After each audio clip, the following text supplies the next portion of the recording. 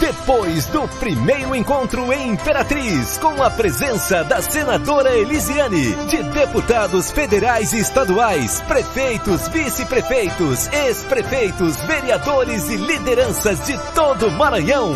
Agora é a vez de São Bernardo abraçar a caravana do Maranhão mais feliz.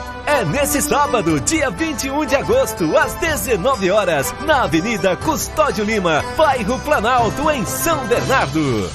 Nós vamos rodar esse Maranhão, nós vamos colher muita proposta, nós vamos levar tudo que nós temos de bom, porque é assim que se faz quando a gente tem vontade de acertar, é tendo a coragem de fazer.